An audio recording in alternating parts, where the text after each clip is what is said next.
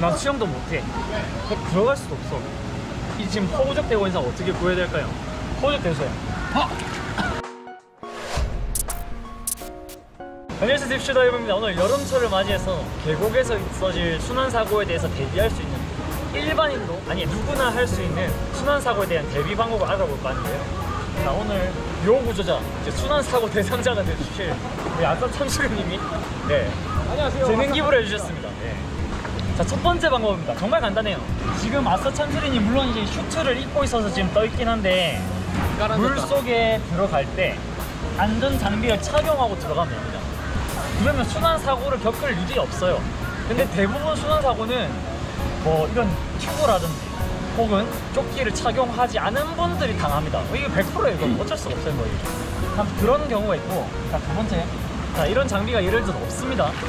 없어요. 근데 지금은 촬영 환경상 제가 지금 물에 들어와 있는데 그냥 제가 물에 들어와 있지 않다고 상정을 해주세요. 그리고 제가 실제로 SSU에 있었을 때 교관님께 배운 인명 구조 방법입니다. 자, 요거 호적 대주세요. 어? 어떡해? 장비가 없잖아요. 그러면 이상 대상을 막 들어가려고 한단 말이에요. 들어가면 안 돼요. 허우적 자기가 쓸 수 있는 옷이라든지 이런 것들을 최대한 만지지 않고 어머니 어 됐어. 실제로 수영장에서 써먹는 방법 중 하나입니다. 어, 보통 가해로 와서 허우적대고 있거든요.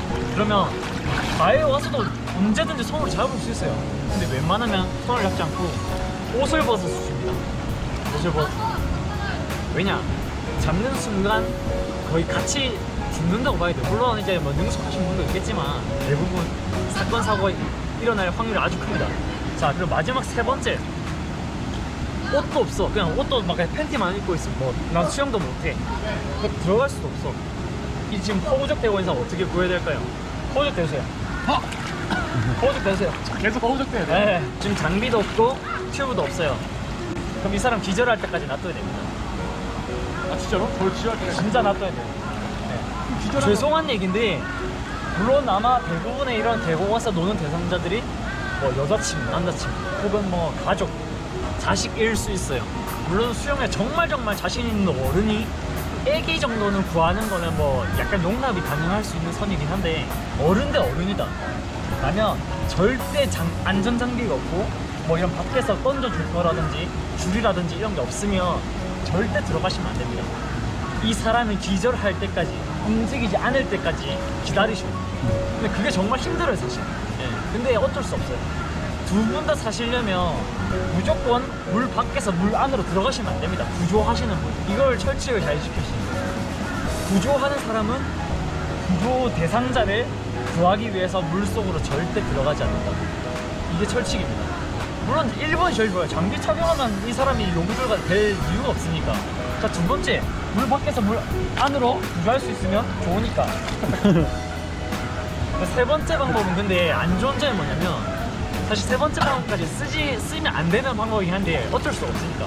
근데 세 번째 방법을 쓰려면 심폐소생술을 할 줄 아셔야 돼요. 심폐소생술 진짜 웬만하면 못합니다. 당연한 거지만 1번, 2번만 잘 지키시면 3번 갈 필요 없어요. 그래서 첫 번째는 1번만 잘 지키세요.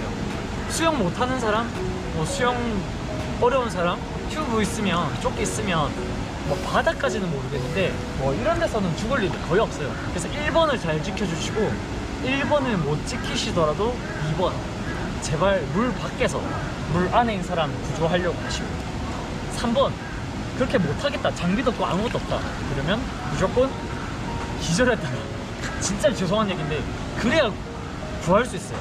여러분도 스스로를 구해야 되기 때문에 진짜 대부분의 익사 사고가 구하러 갔다가 같이 죽는 경우가 많거든요. 그리고 충격적인 사실일지 모르겠는데 순환 사고 그러니까 순환을 이런 물에서 목숨을 잃으시는 분들의 80%가 1m 이하의 수심에서 이루어집니다. 접시물에 코 박혀 죽는다 이런 말이 있죠. 한마디로 별거 아닌 거에 실제로 그렇게 되는 거예요. 네. 그래서 방심하시면 안 되고 제발 안전장비 착용 하시길 바라면서 제일 좋은 방법은 하나 또 마지막으로 있는데요. 네. 어, 바로 이 SSU 네. 문어 형님하고 같이 놀러 오시면 아. 이 앞에 1, 2, 3번이 필요가 없어요. 아, 그- SSU 그런가요? 형님 한 명 데리고 오면은 그냥 뭐 열심히 수영하다가 저는 무조건 뚝배기. 3번 빠져서 보여주니까 그럴 필요는 없는 것 같아. 저 신변변수를 드릴게요. 아무튼 이런 거 찍면 아마 여름철도 별 탈 없이 아마 별거 없이 여러분들 가족과 재밌게 노실 수 있을 테니까 한번 참고해 주시고요.